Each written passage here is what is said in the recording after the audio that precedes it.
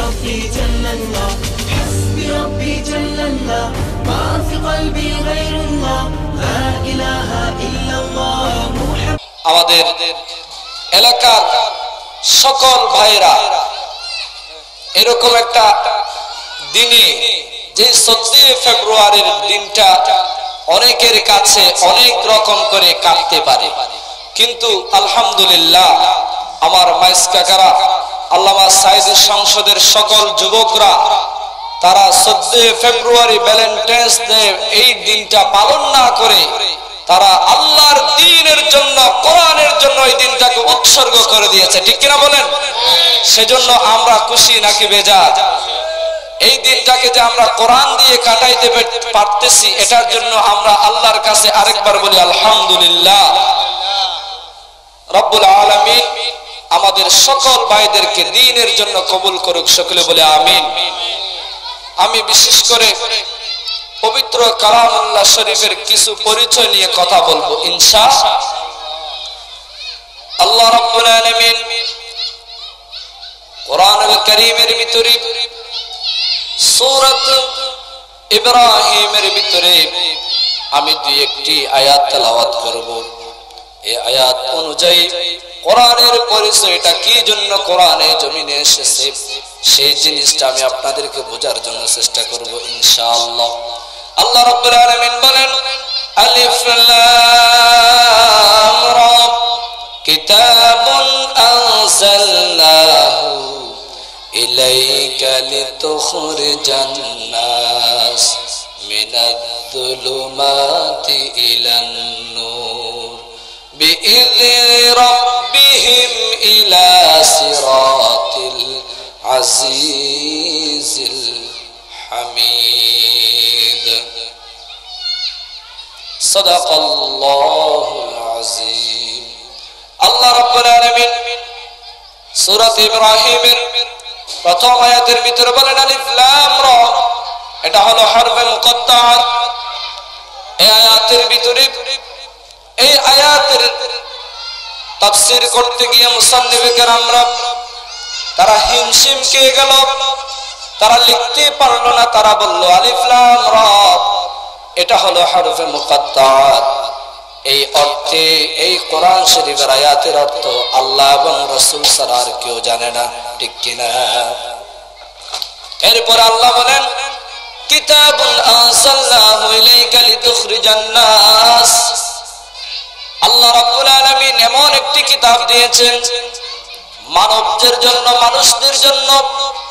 আল্লাহ তাআলা এমন একটি কিতাব দিয়েছেন নাস। মানুষেরা তোমাদের জন্য, আমি আল্লাহ রাব্বুল আলামিন এমন একটি গ্রন্থ দিয়েছি, সেই গ্রন্থের নাম হলো আল কোরআন সেই গ্রন্থের নাম কি?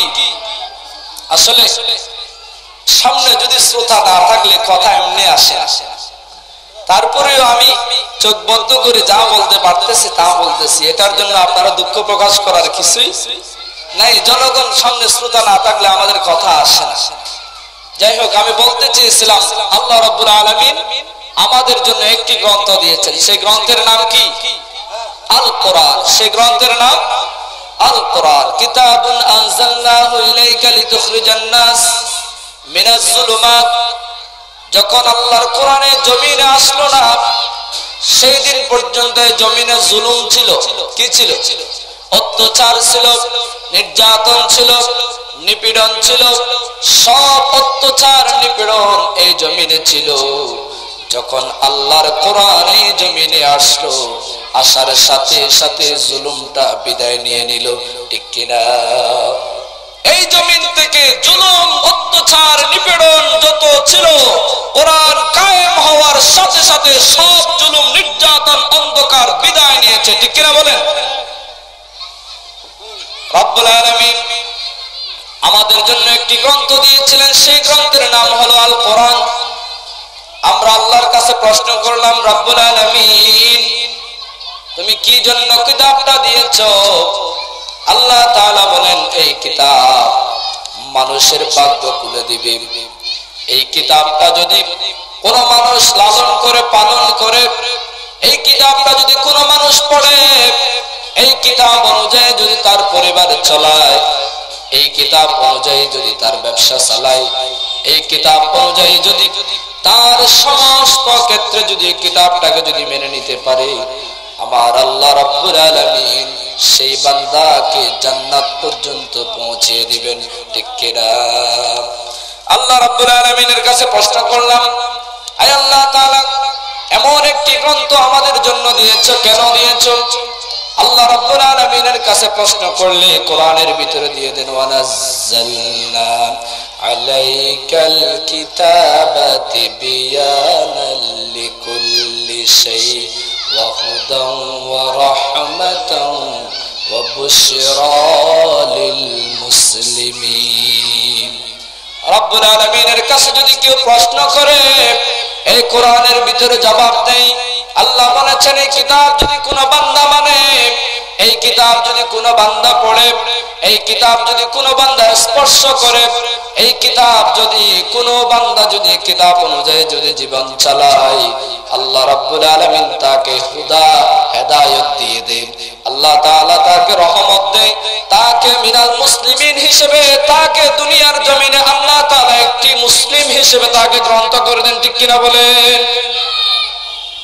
রব্বুল আলামিন এই কিতাবটা যে গ্রহণ করবে, এই কিতাবটা যে ব্যক্তি মানবে, তাকে আল্লাহ রাব্বুল আলামিন মুসলমান হিসেবে কবুল করেন, ঠিক কিনা? তাহলে মুসলমান হতে হলে কিতাবটাকে গ্রহণ করতে হবে। কিতাবটাকে কি করতে হবে? গ্রহণ করতে হবে। আল্লাহ রাব্বুল আলামিনের কাছে প্রশ্ন করলাম, আল্লাহ, শুধু কি কোরআনটা কি আমাদেরকে রহমত এবং হুদা মিনাল মুসলিমিন বানার জন্য এসেছে? বলতেছে হ্যাঁ তোমাদেরকে মুসলমান বানিয়ে তোমাদেরকে জান্নাত পর্যন্ত পৌঁছে দেওয়ার জন্য দুনিয়ার জমিনে আগমন করেছেন, ঠিক কিনা? কোরআনের কাছে প্রশ্ন করলাম কোরআন, তুমি কোথায় থাকতা? তুমি কোথায় ছিলা? কোথায় দেখে আসছো? কিতাবে, কোরআনের কাছে প্রশ্ন করলে জবাব আসে না নাই? কিতাবের কাছে যদি প্রশ্ন করি, কিতাব, তুমি কোথায় থেকে আসছো? কিতাব সাথে সাথে বলে দে বাল হুয়া কুরআনুম মাজিদুন ফি লাউহিম মাহফুজ। কোরআনের কাছে প্রশ্ন করলাম, কোরআন জবাব দেয় আমি, দুনিয়ার জমিনে আসার আগে লৌহে মাহফুজ আমাকে আল্লাহ রাব্বুল আলামিন রেখেছিলেন। সুবহানাল্লাহ।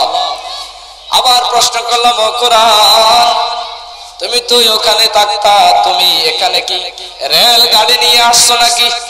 লৌহে মাহফুজ থেকে তো এমনি এমনি দুনিয়াতে আসা যায় না। তুমি কি নিয়ে আসছো? টমটম নিয়ে আসছো মনে হয়? কিতাবটি লৌহ মাহফুজ থেকে টমটম লয়ে এসছে কেন বাজে এই কিতাব কি রেল লাইন করে আসছে? বিমানে করে আসছে? না না। কোরআনে জবাব দেয় নাজালা বিহির রূহুল আমিন। আমি জিবরাইলের মাধ্যমে বিশ্বনবীর দরবারের মধ্যে আগমন করেছি, সুবহানাল্লাহ। এই কিতাবের ভিতরে আরও প্রশ্ন করলাম, তুমি কি জন্য আসছো জিব্রাইলের মাধ্যমে? তুমি কোথায় আসছিলা? কিতাব সাথে সাথে জবাব দেয় তাবারাকাল্লাযী আলা লিয়াকুনা লিল আলামিন নাযীরা। কিতাবের কাছে যদি প্রশ্ন করে, ও কিতাব, তুমি কার কাছে আসছো? লৌহে মাহফুজ থেকে জিব্রাইলের মাধ্যমে কার কাছে এসেছিলাম? কিতাব জবাব দেয় আমি, তাবারাকাল্লাযী নাযালাল ফুরকান আলা আবদিহি লিয়াকুনা লিল আলামিন নাযীরা। আমাকে আল্লাহ রাব্বুল আলামিন বিশ্ব নবী রাহমাতুল লিল আলামিনের কাছে আমাকে আল্লাহ রাব্বুল আলামিন আগমন করালেন, সুবহানাল্লাহ। জিব্রাইলের মাধ্যমে বিশ্ব নবীর কাছে কোরআন আসছেন, ঠিক কিনা বলেন? তাহলে আল্লাহ রাব্বুল আলামিন আরও বলেন, ও কিতাব, জিব্রাইলের মাধ্যমে তুই বিশ্ব নবীর কাছে আসছো, এটাও বুঝতে পারলাম। তাহলে তুমি কি দিনের বেলায় আসছিলা নাকি রাতের বেলায় আসছিলা বিশ্ব নবীর কাছে?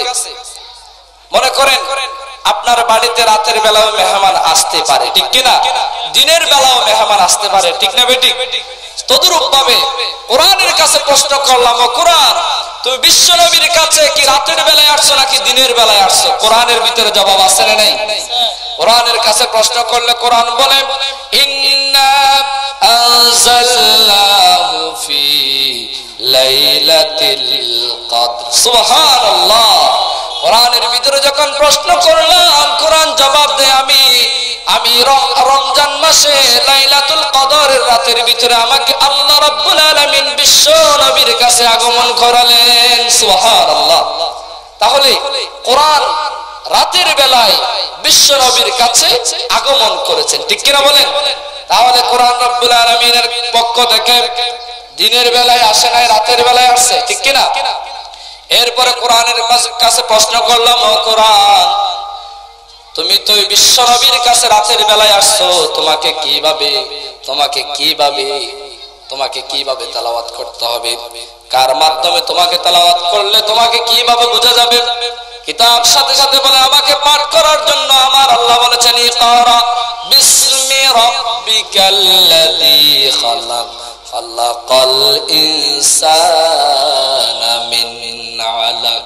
ও দুনিয়ার জগতের মানুষেরা, শুনো, আমাকে পাঠ করার জন্য আমার আল্লাহ রাব্বুল আলামিন বলেছেন।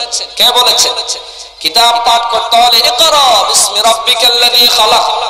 তোমরা কিতাব পাঠ করো।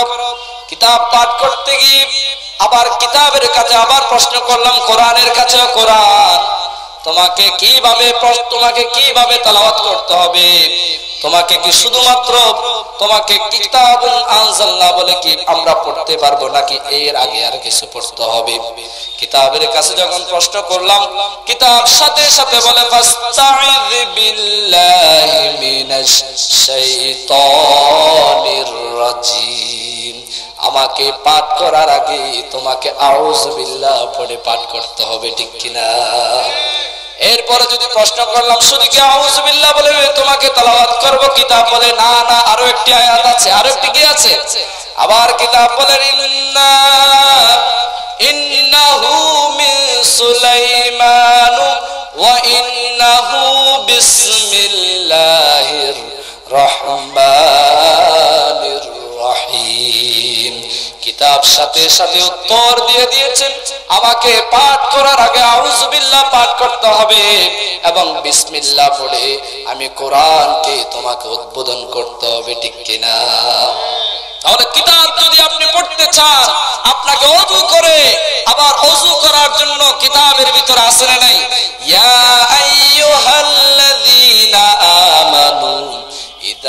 কুমতুম ফাগসিলু উজুহাকুম সুবহানাল্লাহ।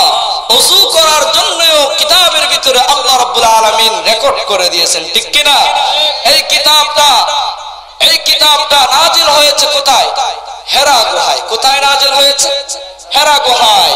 হেরা গুহার ভিতরে এমন একটা পাথর আছে, পরশ পাথর। কি পাথর? পরশ পাথর আছে। এই পরশ পাথরের সাথে আল্লাহ রাব্বুল আলামিন বিশ্ব নবীর মাধ্যমে পরশ পাথরের মধ্যে আল্লাহ তাআলা কোরআনটা লিপিবদ্ধ করলেন। বিশ্ব নবী ওখানে লিখলেন, লেখার পরে কিতাবটা পড়লেন। মনে করেন, ওই পরশ পাথরের সাথে যদি, কেউ যদি বলে পরশ পাথরের সাথে যদি লোহা লাগলে লোহাটা কি হয়? স্বর্ণ হয়ে যায়। পরশ পাথরের সাথে যদি একটা টিন লাগে, টিনটা লোহা হয়ে যায়।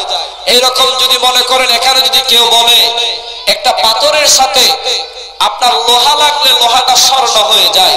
এই কথাটা কেউ বললে, এখানে কেউ কি লোহা লাগবে? লোহা রাখবে না তো, সব লোহা ওই পাথরের সাথে মিশিয়ে লোহাটা স্বর্ণ বানিয়ে ফেলবে। ঠিক কিনা বলেন?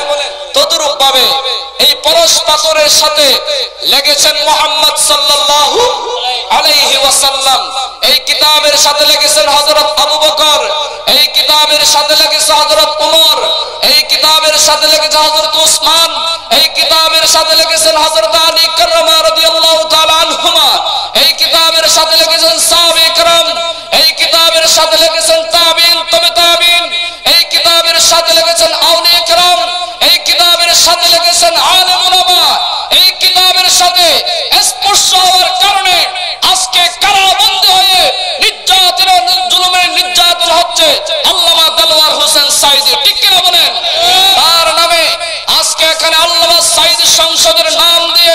যখন একটা প্রতি বছর মাহফিল করা হয়, এখানে বলেন? আজকেও একটা আমি বাধা দেখতে পাচ্ছি। আজকে একটা বাধা দেখতে পাচ্ছি। মনে করেন, প্রতি বছর তো মাহাবিলের সময় এক একটা বাধা আসে। এতদিন পর্যন্ত এখানে কোনো অনুষ্ঠান হচ্ছে না, কিন্তু আজকে এদিকে একটা অনুষ্ঠান চলতেছে। অনুষ্ঠানের কারণে মাহফিলের অনু মাহফিল অনেকে শুনতে পারতেছে না। আমি এখানে শব্দ পাচ্ছি, এই গানের গানের শব্দ। কেন প্রতি বছর এরকম, প্রতি বছর এক একটা বাধা চলে আসে? বুঝতে হবে, সত্য যেখানে অবশ্যই বাধা থাকবে। বিশ্ব বিশ্বনবী যখন কোরআনটা নিয়ে দুনিয়ার জমিনে আসলেন, ওই সময় অন্ধকার যুগ ছিল, ওই সময় বর্বরতার যুগ ছিল ওই সময় আবু জাহেল আবুল আহাবরা ওই ওই জমিনটাকে শাসন করেছিলেন। সেই সময় আবু জাহেলের যুগে, সেই যুগে যখন আল্লাহর কোরআন নাজিল হয়েছে বিশ্বনবী যখন বলেছেন, ইকরা বিসমি রাব্বিকাল্লাযী খালাক, কোরআন পাঠ করো, কোরআন দিয়ে, ওয়ানাজ্জালনা আলাইকাল কিতাবা তিবিয়ানাল লিকুল্লি শাই। এই কিতাবের বিষয়ে রব্বুল আলামিন সমস্ত বিষয়গুলো কিতাবের ভিতরে দিয়ে দিয়েছেন। বান্দা, তুমি কুলে কুলে, তুমি পড়ে পড়ে তোমার জীবনের সমস্ত ক্ষেত্রে কোরআন দিয়ে পরিচালনা করো, ঠিক কি না এই কিতাব দিয়ে যদি আপনি পরিচালনা করতে যান, এই কিতাব দিয়ে যদি আপনি সংসার পরিচালনা করতে যান, সেখানে বাধা আছে না নাই? এই কিতাব দিয়ে যদি আপনি ব্যবসা বাণিজ্য পরিচালনা করতে যান, সেখানেও বাধা আছে না নাই? এই কিতাব দিয়ে যদি আপনি, আপনার রাষ্ট্র যদি আপনি পরিচালনা করতে যান, সেখানেও বাধা আছে না নাই?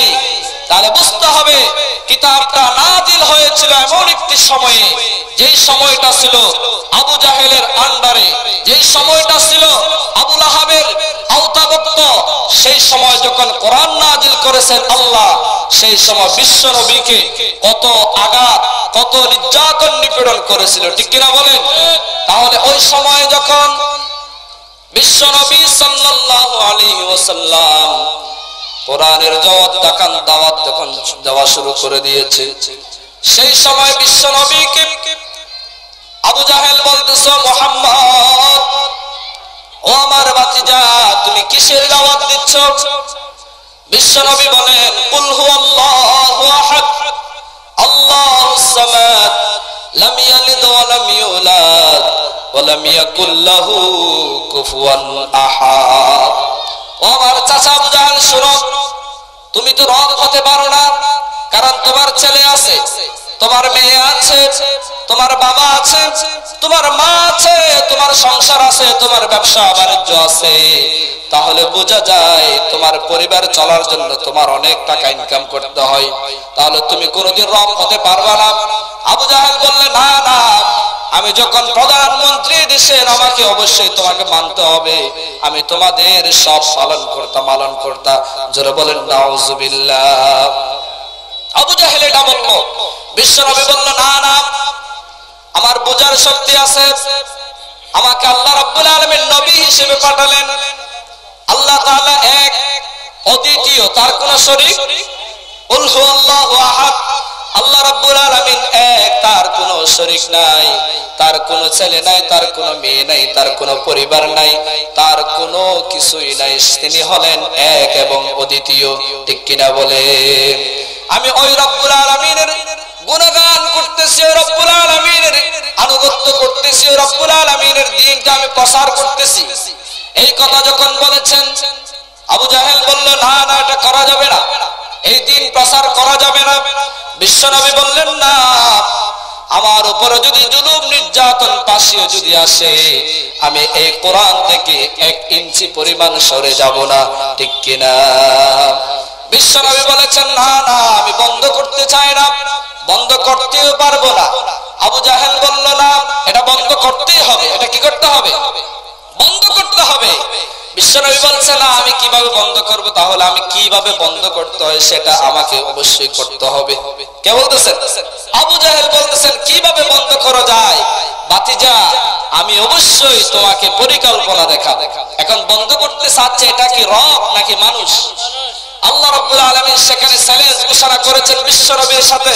ইউরিদুনা নূরাল্লাহি বিআফওয়াহিহিম, ওয়াল্লাহু মুতিম্মু নূরিহি ওয়ালাউ কারিহাল কাফিরুন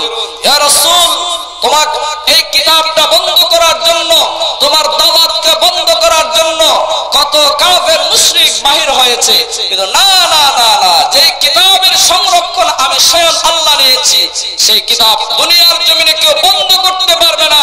সেই কিতাব আমি আল্লাহ রাব্বুল আলামিন কিয়ামত পর্যন্ত এই জমিনে জারি রেখে দিব। সুবহানাল্লাহ। সেই কিতাব যদি কেউ বন্ধ করতে চায়, তাহলে ওই রকম হবে। মনে করেন, সাগরের পানি যদি কেউ এক বালতি নেই সাগরের কোনো ক্ষতি হবে?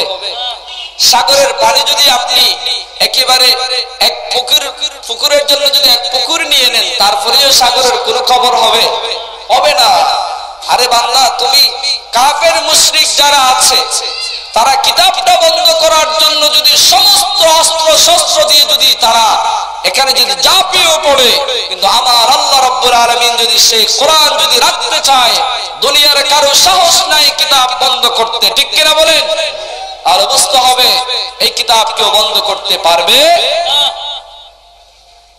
কিতাবের সাথে লেগেছেন মোহাম্মদ সাল্লাল্লাহু আজকেও যদি আপনি কিতাবের সাথে, কোরআনের সাথে লাগতে পারলে আপনার সম্মান বাড়বে নাকি কমবে? আজকে যারা দুনিয়ার জমিনে কারাগারের ভিতরে বন্দিশালায় আছেন, তারা কিতাবের সাথে, কোরআনের সাথে স্পর্শ হয়েছিলেন, ঠিক কিনা? এই কোরআনের হক কথা বলেছিলেন, এই কোরআনের সমস্ত বাণী যখন মানুষের দ্বারে দ্বারে পাঠিয়ে দিচ্ছেন, সেই সময় কাবের মুশরিক, নাস্তিক, মোরতাদ যারা আছে, তারা সহ্য করতে পারে নাই।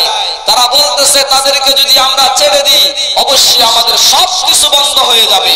সেটার জন্য তারা দিনের পর দিন যুগের পর যুগ তারা কোনো কাজ বন্ধ করতে চায় না। তার বিরুদ্ধে তারা কিন্তু এই মাহফিল বন্ধ করার জন্য এক একটা তারা কি করেন পাইতারা করে।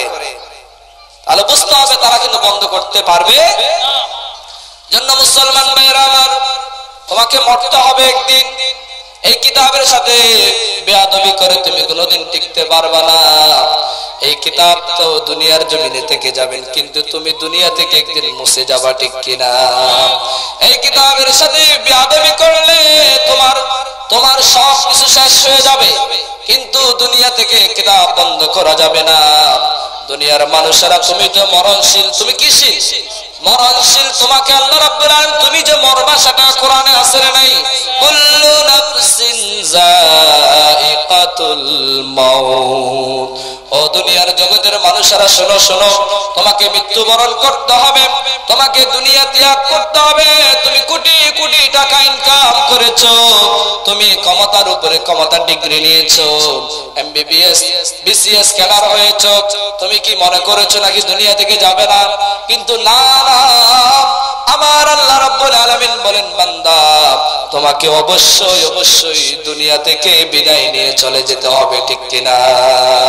হারিয়ে যাব, একদিন আমি রব নাই, ভুবনে চিরদিন। হারিয়ে যাব, একদিন আমি রব নাই, ভুবনে চিরদিন। ক্ষমা করে দিও তোমরা আমার। ক্ষমা করে দিও তোমরা আমার। ভুল করে থাকি যদি কোনো দিন হারিয়ে যাব একদিন আমি। রব নাই ভুবনে চিরদিন। হারিয়ে যাব, একদিন আমি রব নাই ভুবনে চিরদিন। ঠিক কিনা? আপনাকে আমাকে একদিন এই পৃথিবী থেকে হেরে যেতে হবে, কিন্তু কিতাবটা কোরআনটা দুনিয়ার জমিনে কেয়ামত পর্যন্ত থেকে যাবে। ঠিক কিনা বলেন? এজন্য মুসলমান ভাইয়েরা, আমার কিতাবের সাথে গাদ্দারি করে লাভ নাই। আপনি যদি কোরআনের বিরুদ্ধে গাদ্দারি করেন স্বয়ং আল্লাহর সাথে যুদ্ধ করেন, ঠিক কিনা? আপনি যদি বিশ্বনবীর বিরুদ্ধে যদি কোনো কাজ করেন, তাহলে বুঝতে হবে আপনি বিশ্বনবীর বিরুদ্ধে ঝগড়া করতেছেন না, আপনি ঝগড়া করতেছেন স্বয়ং আল্লাহর সাথে, ঠিক কিনা? আপনি যদি কোনো ইমানদার মোমেন, ইমানদারের সাথে যদি ঝগড়া করেন, তাহলে বুঝতে হবে আপনি ইমানদারের সাথে ঝগড়া করছেন না বরং সে যুদ্ধ করতেছেন একজন আল্লাহর সাথে, ঠিক কিনা? আবার আল্লাহ রব্বুল আলামিন বলেন, দুনিয়ার জমিনে সফল কাম ওই ব্যক্তি দুনিয়ার জমিনে লক্ষ লক্ষ টাকা ইনকাম করে সফল নন। দুনিয়ার জমিনে কোটি কোটি টাকা ইনকাম করে সফল হতে পারবা না। দুনিয়ার জমিনে তুমি মন্ত্রী এমপি হয়ে সফল হতে পারবা না বান্দা। তোমাকে যদি সফল হতে হয়, মুমেন ইমানদার হতে হবে, ঠিক কিনা? আমার আল্লাহ রাব্বুল আলামিন সেই জবাবটাও কোরআনের ভিতরে দিয়েছিলেন, দিয়ে দিয়েছেন, কদ আফলাহাল মুমিনুন।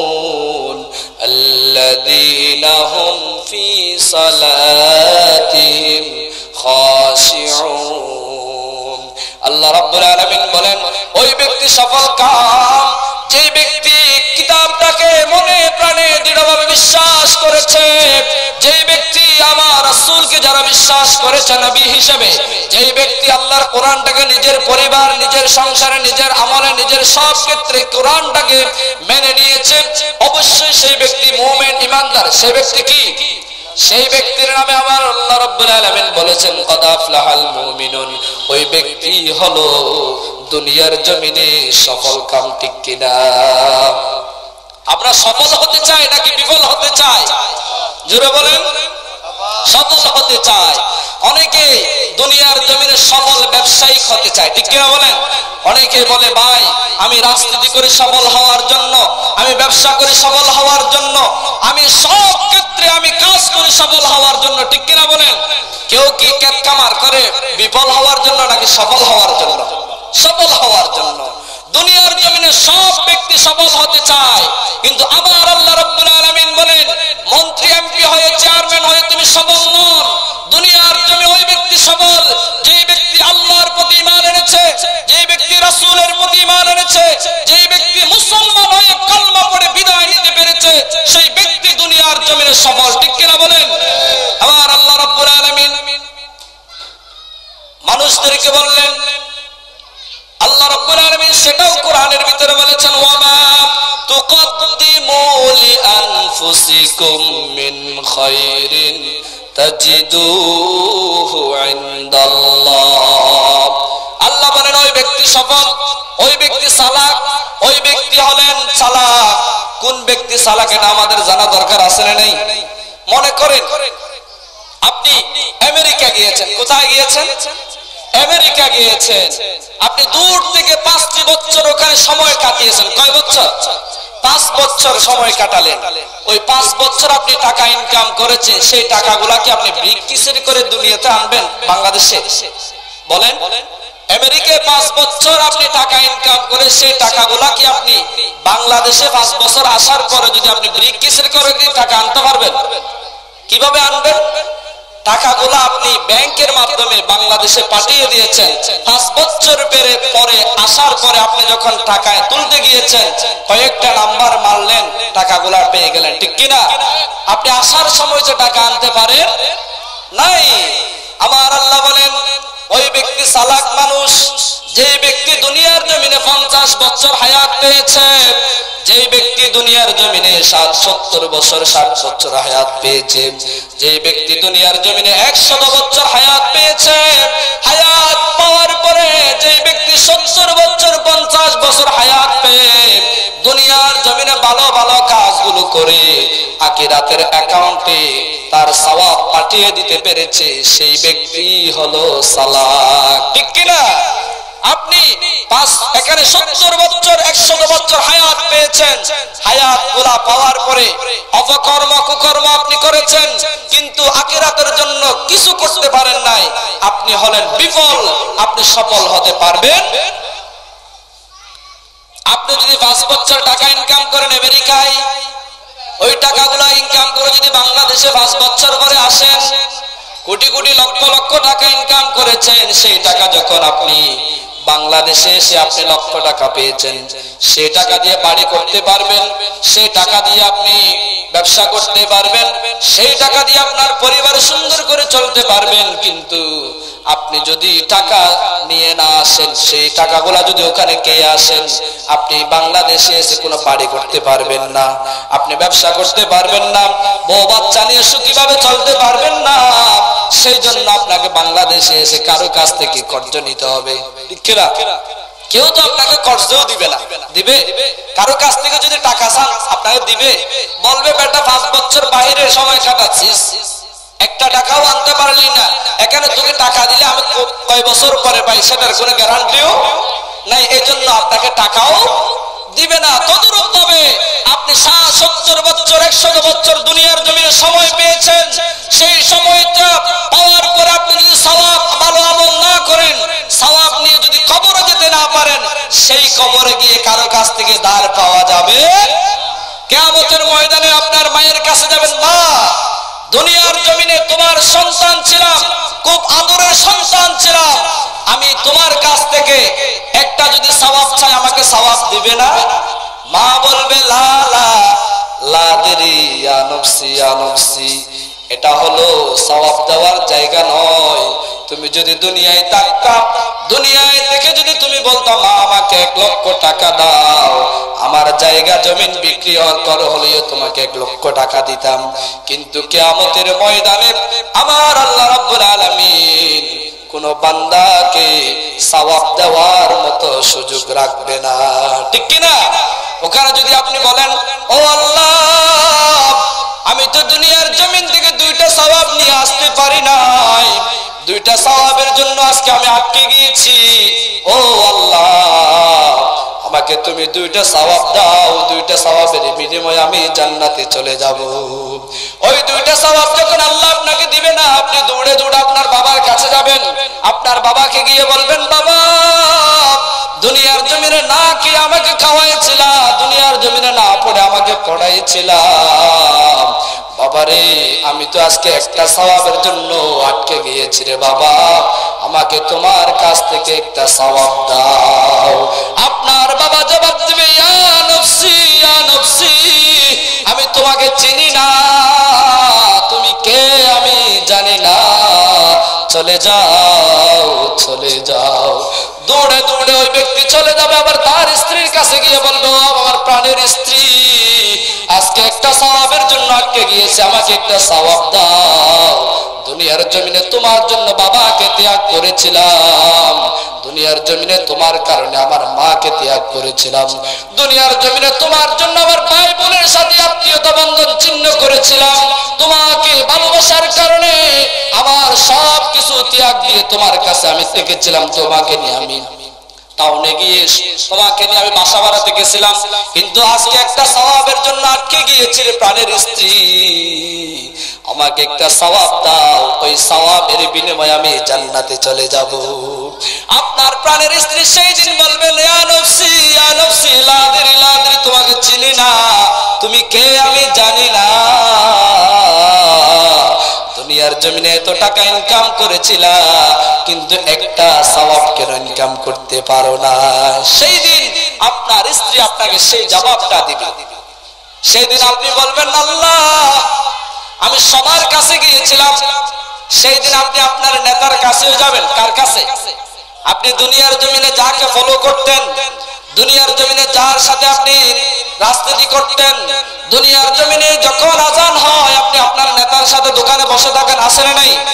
দুনিয়ার জমিনে যখন নামাজ পড়তে যখন সবাই চলে যায়, মোমেন ইমানদাররা, মুসলমানেরা, আর আপনি মুসলমানের নাম নিয়েছিলেন, কিন্তু দোকানে বসে বসে আপনি গল্প করেছিলেন, ঠিক কিনা? আজকাল দোকানে বসলে আমাদের অনেক গিবত আসরে নাই। কার বাড়িতে কি হয়, সবগুলা দোকানে গেলে পাওয়া যায়, ঠিক কিনা বলেন? কোন ব্যক্তি কীভাবে চলে, কি কালো, কি ধলা, এটা সব কিছু যদি আপনি জিজ্ঞেস করার জন্য কারও কাছে যান, দোকানে, চায়ের দোকানে গেলে সব কিছু পাওয়া যাবে, ঠিক কিনা বলেন?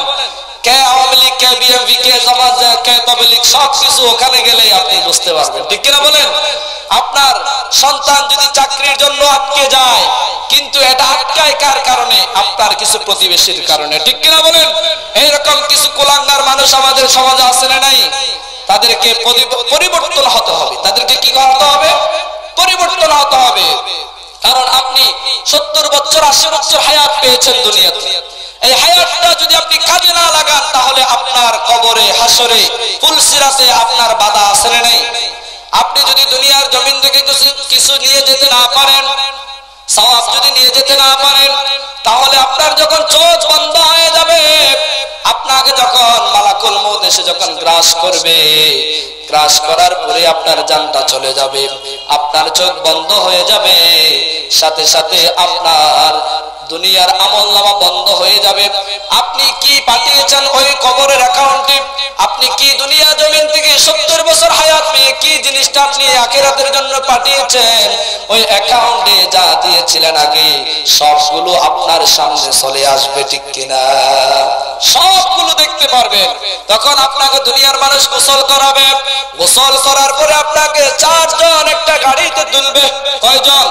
একটা গাড়ির চারটে ড্রাইভার থাকবে। কয়টা ড্রাইভার মনে করেন দুনিয়ার জমিনে একশোটা মানুষ, একটা বাসে উঠল, একটা ড্রাইভার কিন্তু আপনি যখন মরে যাবেন, আপনার ড্রাইভার হয়ে যাবে কয়জন? জোরে বলেন, কয়জন? চারজন ড্রাইভার হয়ে যাবে। চারজনের ড্রাইভার আপনাকে, চারজনে নিয়ে যাবে একদিকে। যেতে যেতে যেতে আপনাকে কবরস্থান পর্যন্ত পৌঁছে দিবে। যাওয়ার পরে আপনাকে কবরস্থানে নামিয়ে দিবে।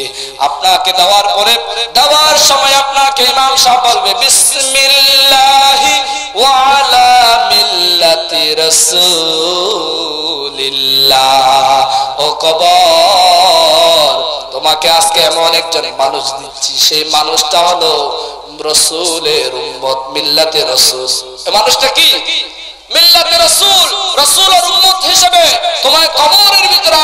ওই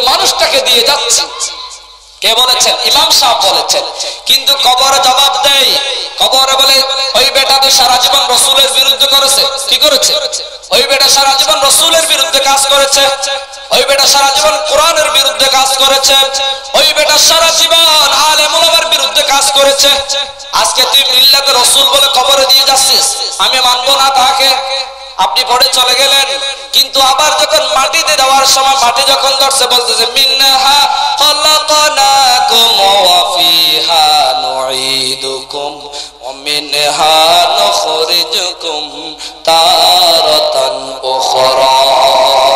আপনি যখন কবর দিলেন, আপনি বললেন, ও মানুষ, ও মাটি, তুই মাটির মানুষটাকে মাটির ভিতরে দিয়ে যাচ্ছি। ওই মানুষটাকে তুই আক্রমণ করবি না, ওই মানুষটাকে তুই শাস্তি দিবি না। ওই কবর, তারপরে জবাব দে, মানুষটা তো সারা জীবন ওই জমিনে থেকে আল্লাহর নাফরমানি করেছে। সারা জীবন কোরআনের বিরুদ্ধে কাজ করেছে। সারা জীবন আল্লাহর অলিদের বিরুদ্ধে কাজ করেছে, ঠিক কিনা? ওই মানুষটা কবরে আসার সাথে সাথে ওই মানুষটাকে কবরে শাস্তি দিবে। তার বামের হাড্ডি ডানে চলে যাবে, ডানের হাড্ডি বামে চলে যাবে। ওই মানুষটাকে কবরের ভিতরে সাপ বিচ্ছু এসে ওই মানুষটাকে গ্রাস করে করে, আক্রমণ করে করে কেয়ামত পর্যন্ত কাটিয়ে দিবে। সুরে বলেন, নাউজুবিল্লাহ। আমার আল্লাহ রাব্বুল আলামিন আমাদেরকে কিতাব দিয়েছেন, একটা কিতাব দিয়েছেন। কয়টা? আল কোরআন দিয়েছেন শুধুমাত্র মানুষদেরকে অন্ধকার থেকে ফিরে আসার। যারা যারা কোরআনের বিরুদ্ধে কাজ করে, ওই ব্যক্তিদেরকে এখান থেকে শিক্ষা নেওয়া দরকার, ঠিক কিনা? কিন্তু আল্লাহ বলেছেন, বান্দা, দুনিয়ার চেয়ারম্যানের কাছে যদি যাও, চেয়ারম্যানের কাছে গিয়ে যদি তুমি একবার, দুইবার, তিনবার নক করো, তাহলে তোমার চেয়ারম্যান তোমার জন্য রাগ করবে, ঠিক কিনা? আর তুমি যদি পঞ্চাশ বছর, একশো বছর আল্লাহর বিরোধিতা কাজ করেছ, আল্লাহর বিরুদ্ধে কাজ করার পরে তুমি যখন পঞ্চাশ বছর মসজিদে গিয়ে যখন বললা ইয়া আইয়ুহাল্লাযীনা আমানু তুবু। ইলাল্লাহি আল্লাহ রে আমি অপরাধী, আমি গুনাহগার, আমি পঞ্চাশ বছর আল্লাহর নাফরমানি করেছি, তোমার বিরুদ্ধে কাজ করেছি। আল্লাহ, আমি ফিরে আসতে চাই, আমার সমস্ত গুনাহগুলি মাফ করে দাও। আল্লাহ বলেছেন, উদউনি আস্তাজিব লাকুম, আমার কাছে ডাকো, আমাকে চাও, আমার কাছে চাও, আমি আল্লাহ রাগ করি না, আমি তোমার গুনাহ মাফ করব। আল্লাহ কার গুনাহ মাফ করবে? অপরাধীর গুনাহ মাফ করার জন্য বসে আছেন একজন তিনি কে সে আল্লাহ রাব্বুল আলামিন আপনার গুনাহ আমার গুনাহ মাফ করার জন্য বসে আছেন।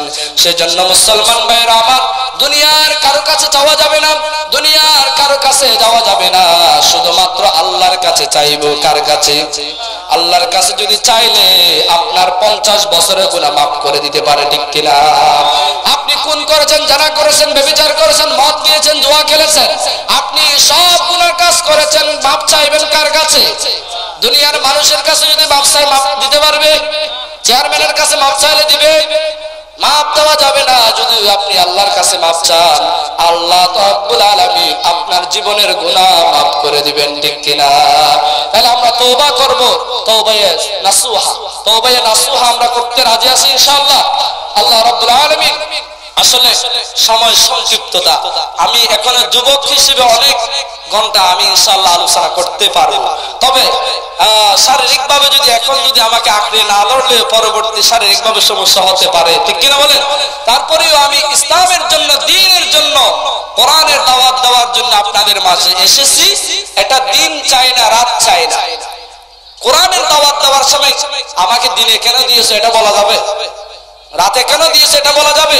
না, যখন দিবে, তখন আমরা কোরআনে দাওয়াত দেওয়ার জন্য প্রস্তুত। ইনশা আল্লাহ রাব্বুল আলামিন যা বলেছি আপনাদেরকে আমল করার, আমাকে আমল করে সকলকে দুনিয়ার জমিনে যেভাবে একতাবদ্ধ আমরা থেকেছি, এখানে এসেছি, আল্লাহ রাব্বুল আলামিন আমাদের সকলকে জান্নাতে একই সুরে, একই সাথে, একই লাইনে ঢুকে জান্নাতের ভিতরে বসবাস করার তৌফিক দান করুক সকলে বলে আমিন।